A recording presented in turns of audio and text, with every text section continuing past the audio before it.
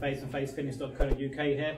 Uh, today's video, I'm going to go over a move. Um, I done a video on Orlando Canizales a little while ago. And Canizales was the original Lomachenko, should we say. So Lomachenko gets a lot of credit for his footwork.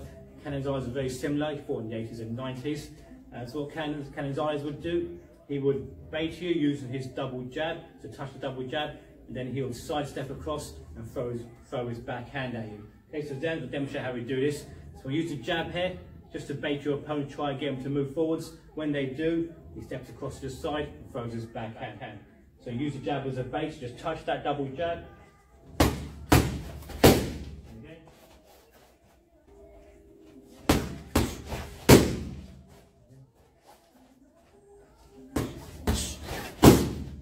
Okay, so that's how we've done it. So you're using that double jab as the bait. So when you're touching double jab, when your opponent to counter. When they come in and counter, that's when you step to the side and throw your backhand behind it.